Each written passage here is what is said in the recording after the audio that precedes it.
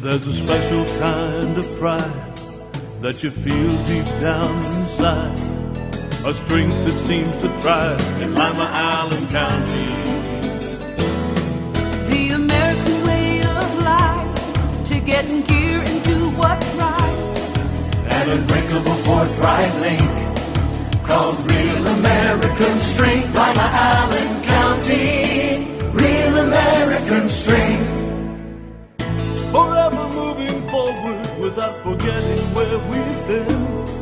Creativity meets technology where possibilities never end. Ohio's strong Midwestern know-how, exploring innovative ideas.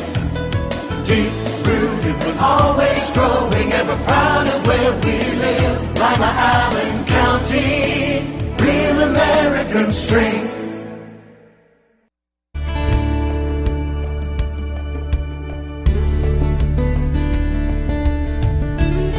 Keeping you up to date with what's happening in your community. Community Focus on GTV2. Thanks for joining us today on Community Focus. I'm Anne Decker. I'm pleased to welcome to the studio today Elizabeth Brown. She is with the Lima Symphony Orchestra, and she is here to tell us about a wonderful season that has just begun. Exactly. And we missed the first one already. We missed the first concert, which was absolutely spectacular. We had a Russian pianist who was incredible, but we have lots of good surprises left for the rest of the season. Well, like what? Well, our next concert is November 10th, and we have a, a trumpet player who's coming. He is coming back from England to be with us. He's a student at the University of Cambridge, where he's doing a Churchill Fellowship in Astrophysics. And so he is just an amazing young 23 year old kid who is combining science and music and using all parts of his brain. And he's just a dynamo. And he's playing this big, spectacular trumpet piece, which, you know, we don't normally get trumpet soloists. We have violin soloists and piano soloists who are wonderful. But to hear someone play something that bold is going to be really, really fun. And what is he playing? He's playing an Arutunian trumpet concerto. I'm not familiar with that. It's a Russian piece. Um, It's very soulful. It's based on Russian folk melodies, and so it's um, it's very dynamic. It's going to be really neat. It sounds like it. It is. And what's the date for that concert? That's November 10th. Okay, so that's coming right Coming up. soon. Okay, we Mhm. need to be getting Mhm. tickets That's now right, if we want to go. exactly. exactly. What else is on the program for that night? That night, we're also doing a Brahms piece, a Brahms Symphony Number Two, which is um, not very often perfor- performed, and it's just people. I tend to think Brahms is kind of a little bit moody. Uh, this is just sunny and joyful and. So much fun. So it's going to be a night where you just leave feeling incredibly uplifted and inspired. You usually do after you leave the symphony. Exactly, exactly. It's fun to hear music played at that level, and you know, to go to a live performance where things are just done so incredibly well. And that's one of the things that you know we always try to try to bring, and our musicians are incredible, and we're just it'll be it'll be fun. I'm no sure doubt, it will be. no doubt. Does that bring us up to the holiday concert that brings then? us to Bells, Brass, and Bows, which is the second week of second Saturday in December. And this year, as always, the choir, the chorus will be joining us. Um, they add such a richness and a depth with their beautiful voices, and so that's a great traditional holiday concert. Um, this year, we're doing three selections from Handel's Messiah, which we haven't done in a long time, and people love the Messiah. Yeah, it's a crowd so pleaser. It definitely is. So I'm really excited about that. And then we have another treat planned for New Year's Eve. We are celebrating some of America's, I think, most um, famous, joyful holiday, or not holiday, um, just classical music, and we're celebrating the Boston Pops tradition. And so we're doing a tribute to Arthur Fiedler and the Boston Pops on New Year's, which should be very fun. That sounds wonderful. Mhm, It will be.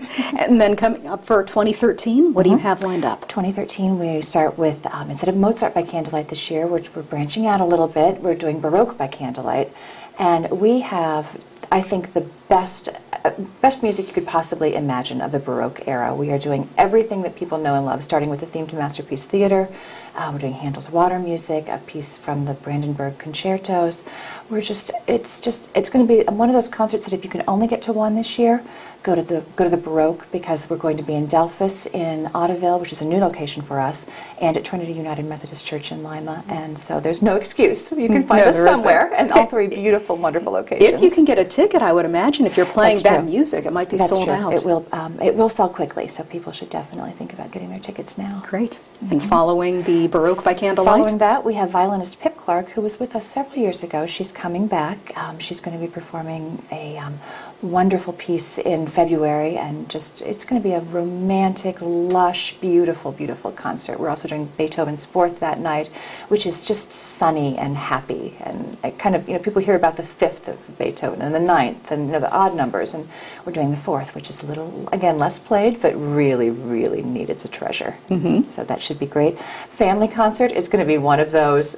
Who knows what's going to happen? um, we're doing Sim Fantasy and we have a program with jugglers and acrobats and unicyclists, and it's just going to be, it really is going to be a fantasy. It's perfect for kids because there will be so much activity and movement and joy on that. And what a great way to introduce them to the Oh, symphony. Absolutely, absolutely. You know, and tickets for that are only $10 a person, and so it really is a very affordable, wonderful program for kids, for families alike. Um, you know, it's, it's neat to see kids go with their grandparents, with, you know, little sisters and big brothers and, and everybody there together and smiling and having such a great time. It is a great time. And you know, for mm-hmm. those adults who maybe aren't familiar with the symphony, what a great way to introduce them as well. That's exactly right. Yeah, that's exactly right. It's also a lot of, I mean, it's just fun and fast paced, and so it's, a, it's a wonderful introduction for any age, no doubt about it. And following the family concert? Following the family concert, we close our concert in April, and we have a piece that we have been wanting to do forever and ever. And um, finally, it's going to actually happen this year. We are doing Carmina Burana. Oh, wow. Which is yeah, exactly, it, exactly. It's just it's a beautiful old choral piece. Um, the voices are so so important, and that's been a limitation for us. Is that you know we have to pair with the Bowling Green um, University Choral Society, and of course our chorus. When we usually do pair with them for the April concert, but we finally got it so that you know everybody is available on the same night. We have enough voices up on stage, and the stage is going to be packed with you know hundreds of vocalists and musicians, and it's just going to be a great way to end the season. Well, it does sound like a great season. If people are interested in tickets, can they get them individually? Can they get them as season tickets? How does it. Work? Um, season tickets are still available, and we also have individual tickets for every concert on sale now, so people can get them online. We've added, we've expanded our online capability. We've been selling tickets online for a while, but it has we've had some software issues, and so finally, I think we really got it down, and it's working the way it's supposed to be working. And they can call, or they can call the office, come by the office, whatever works best for them. Okay, your phone number is, 222-5701. and the website is. www.limasymphony.com. Okay, I do need to ask you about Crafton Beck. Um, we're still up in the air as to whether he's going to return next year. We are unfortunately still up in the air um, in the office as well. This, this is a board matter, not a staff matter, and we really don't know any more than the community knows. Um, the board is meeting in a couple of weeks, and we all hope for resolution then. Okay, so hopefully by Thanksgiving we'll know whether Crafton stays or hope so. goes. Yes, yes, I think we should know that. Okay, thanks so. for coming in today, Thank Elizabeth. you. Thank are you. welcome. Elizabeth Brown from the Lima Symphony. When we come back, we'll talk Lima City budget with Steve Cleaves right after this on GTV2. Help keep the youth of Lima safe by donating to Lima Safety City today. Hello, I'm Chuck Eichelberger from the Lima Noon Optimist Club. Safety City is a very important part of the Lima community. The Optimist Club is renovating Safety City and it needs your help. Donations can be made by going to the website limasafetycity.org. You can also send a donation to Lima Noon Optimist Club, P.O. Box 428, Lima, Ohio 45802. Help keep the youth of Lima safe by donating to Safety City today. My joints ached and I was always tired. I was always cold, I couldn't concentrate, and my body hurt all over. My doctor told me I had lupus. Women of childbearing age and especially African American women are at higher risk. If you suspect that you have lupus, you should contact your doctor. You're invited to attend the local lupus support group meetings on the second Thursday of each month at 1 o'clock at Lima Towers. For further information, go to connectedhands.org. Lima City Council has recently amended the city's vicious dog ordinance to deal with potential problems concerning dangerous dogs in the public. The ordinance is comprehensive. However, here are some key elements that all dog owners and their neighbors should be aware of. Any dog that is considered a breed of pit bull is considered a vicious dog regardless of its temperament. A vicious dog is any dog that attacks, bites, or causes injury to a person or domestic animal with or without provocation. Not under control of the owner and secure with a muzzle and a leash of 6 feet or less in length, all vicious dogs must be confined when outside in a pen with a secured top and bottom or with the sides of the pen embedded at least one foot deep into the ground. If you're a dog owner and have concerns about any dogs in your neighborhood, visit limapolicedepartment.com to find out more about the city's vicious dog ordinance. The fine for noncompliance is $150 per citation, and ignorance of the law is not a defense. If there's an emergency situation, call local law enforcement for immediate assistance.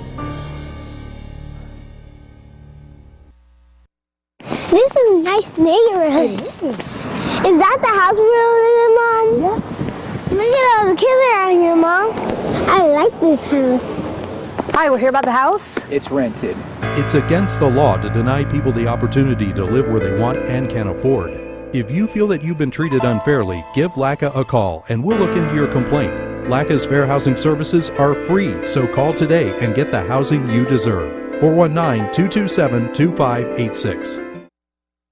We're back on Community Focus. I'm Anne Decker.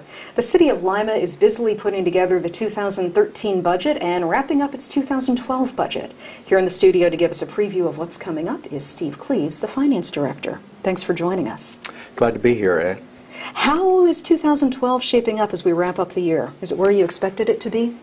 Well, we've had uh, two reviews uh, this year uh, of our, our, 2012 budget, and uh, through the uh, the middle of the year, uh, we were on target to have a balanced budget, and I'm pleased to say that through September, that is that is the case also. Actually, our revenues are are picking up some. There's a, an exhibit here of our uh, estimated uh, revenues for uh, 2012, and the large uh, salmon piece of this pie chart at the bottom is our income tax, and uh, that's about 60% of our revenues. And in this year, uh, we've we've had in the prior year a, an, an uptick in the net profits tax of our businesses.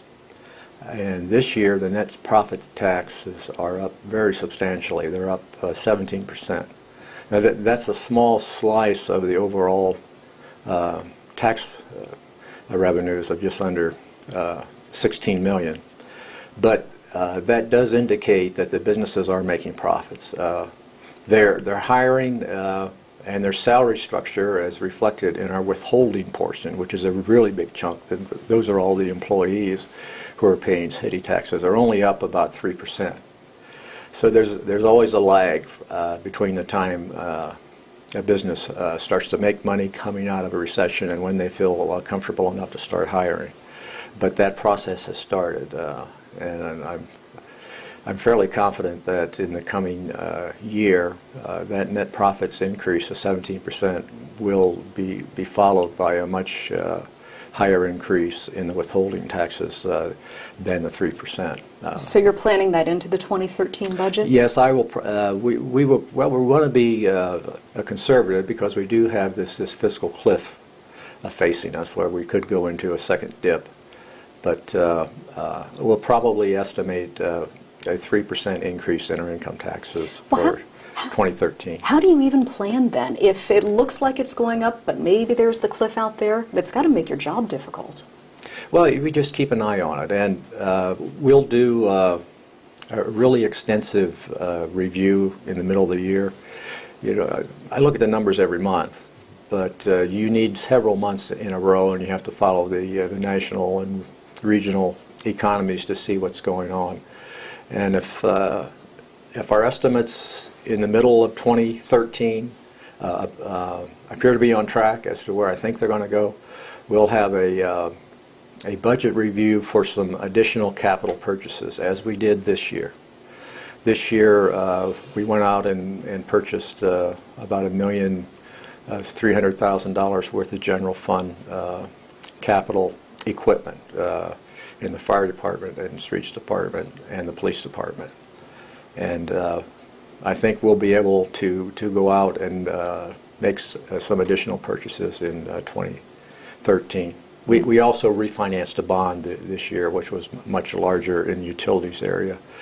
It was uh, close to $3 million uh, in, in total. And by doing that refinancing with the interest rates as low as they are, uh, we saved the city about about three hundred thousand dollars in uh, payments over the over the term of the uh, loans. So that, those rates are so low. Uh, uh, I, I, think we got our our bond for just just under three percent, and uh, some of the items are 20 years. And the average inflation over a 20-year period is is generally above a three percent, might be three and a half to four, somewhere there at least three. So in, in effect, there's really, it's almost an interest-free loan when you, when you look at the term uh, of, of those paybacks uh, going forward. So we took advantage of that uh, this year, and we'll probably do that again next year. How big is the city's general fund budget? Well, on the next exhibit, there's a, a there's a pie chart which shows the breakdown of our expenditures. Our uh, expenditures this year and, and our revenues are, are going to be in the 27 uh, million dollar range. And next year, uh, they'll probably be about 28 and a half. Uh, you know, I, I, don't have the uh, submissions yet from the uh, various administrators in, in the city, but we have we have labor inflation, we have you know, uh, and healthcare inflation, uh, which have been restrained uh, quite well actually in in uh, recent years. Uh, uh, we've had successful talks with the unions, and they've been they've talked to us in good faith, and we've had good settlements. we've managed to keep the city solvent, actually improve our, our financial rating and uh, keep our cost uh, level. And uh, we haven't had to lay anybody off or furlough anyone. And I think that danger is, is over with now. Will the increased labor and healthcare costs eat up the extra money that you're projecting, or is there going to be a little extra money for additional services?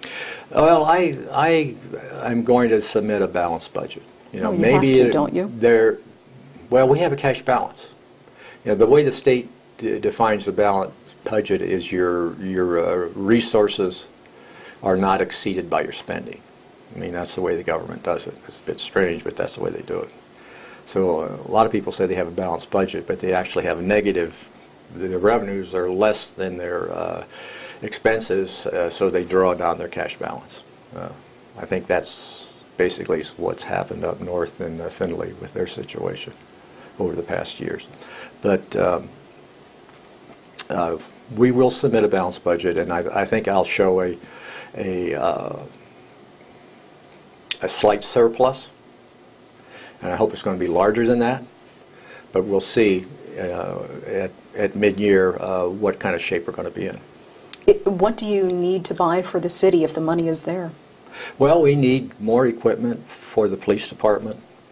Uh, in the fire department, they have engines that are in need of uh, replacement.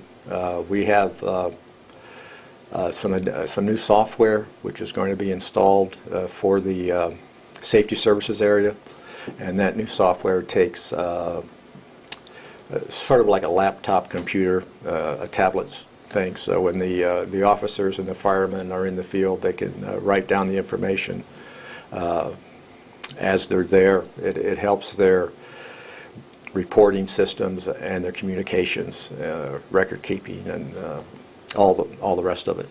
You know, I, I think on that pie chart, you know, uh, the the point is on on the labor, it's it is 80% of our cost. You know, all of those slices on that pie chart, basically, except the uh, the kind of a light blue one, um, uh, are labor. You have the salaries in the dark blue and the red and the yellow slice are fringes and healthcare. So I mean that swallows up 80% of our cost, and, and that's why we have to, we've constrained manpower so closely over the past 10, 15 years. Uh, on this final exhibit, you'll see a, a bar chart, and you can see uh, how much that manpower has been reduced o over the last 10 years. It's down about 20 percent and over the last 15 years it's down almost to 40%. But we've reached a level now that we can sustain, and uh, I think going forward uh, we're going to be in uh, in decent shape. Will we be able to bring back some of that manpower that we lost, or are we simply at a point where we don't need them back? Well, we have a number of uh, temporary employees uh, on our payroll. That's one way we uh, re restrain costs. We're, we are saving over $2 million, word, uh, $2 million a year uh, due to the temps that we hire. And we're going to start to fill those slots with permanent employees slowly as we go forward. Well, why if the temps are saving us money? Well, there are certain, those temps don't stay very long. That's why they're called temps. And and you need a uh, you need a history and a background in a lot of those jobs. You know, experience counts, and uh, as you learn more, you you're there longer. You can learn even more, and your and your performance increases. Uh, so we, you know, in some of those uh, jobs, matter of fact, in most of them, we we would like to put uh, permanent employees back in there, so we know that they're going to be in here for the long haul they have a whole different attitude. You know, a temporary em- employee is glad to have that job, especially in a down economy. When the economy turns around, like it is now in Lima, and uh, there are jobs opening up, those temps will go someplace where they can make uh, more money and have additional benefits. And you have to start all over. And we have to start all over again. So there is a real benefit in having having permanent employees when you can afford them. But you know, during this uh, this uh, crash we had in, in 2008, we had to be very careful. We didn't want to lay anybody off. So we uh, replaced the uh, needed attrition replacements with temps whenever we could. Okay. We've actually increased manpower in, area, in the fire department, for example, and we've increased manpower in the police department. Now, everywhere else, they've been cut. Uh, um, uh, very substantially, uh, actually, and uh, and some of those cuts are deeper than we, that I'm comfortable with, and I think the entire administration is comfortable with. You you need a certain amount of expertise in in these jobs, uh, and you know you if you cut too many people who are essential in managing your business, then your uh, your performance of the whole organization drops. So uh, we do need to start backfilling some of those jobs. So for the next several weeks, you're collecting data from the different administrators within the city, and then what, you present it to council at that point? Well, we have a, uh, an estimated budget that is submitted uh, in early December. It's called the mayor's estimate, and that will be reviewed uh, by the finance uh, uh, committee in January. We generally start that review about the last week of, of, of January. There's a, a, uh, public hearing held uh, during that meeting. Uh, generally, uh, most members of council will attend uh, those meetings, or at least one of them. and we usually go about two or three days. Um, we've had a pretty quick review. I mean, it's been thorough, but there haven't been a lot of uh, hiccups or problems because we've had a balanced budget. You know, we're, we uh, we really don't have any fights over who's going to get laid off because we're not laying anybody off, and. Uh, uh, we've been taking care of our of our manpower uh, reductions uh, through attrition and and long-term planning. Basically, we look we're always looking two three years ahead and I, call it flexible budgeting. Uh, it's not sufficient to just head up a budget in October and then in October of 2012 and then look at it, you know, and you're stuck with it until January of 2014. You, you can't manage that way effectively. You have to be able to adjust that as you go along. And th that's the reason we're, we do these mid-year reviews, and it's more than just a mid-year review to see if you know how we're going to hit that number at the end of the year. We'll adjust that number at the end of the year if, if we have to, and adjust our plans. When do you expect the budget to actually be approved? Well, after the hearings in in January, it's normally approved the first or second week of February, or at least it has been. Mm -hmm. There there have been years in the distant past where it's went until I guess uh, mid March, and they had weeks and weeks of, of hearings but uh, that's that hasn't been the case. They've really streamlined the process over the last few years. Well, it's just that we haven't had the issues. Back then, it was uh, there were serious difficulties. I mean, this the city was on the verge of uh, running out of money. So, I mean, I, those were serious times. But we brought the city's uh, financial health back. Actually, I think we're probably the, the strongest local government uh, in a financial sense in this region. Well, that's great news, and I'm glad to see the revenue increasing for 2013, and hopefully that means the economy is on the verge of improving. Steve, I appreciate you coming in today, and we'll look forward to the budget submission in the beginning of December. Thank you, Anne. You're welcome. Steve Cleaves, Lima's Finance Director. I'm Anne Decker, and this is Community Focus on GTV2.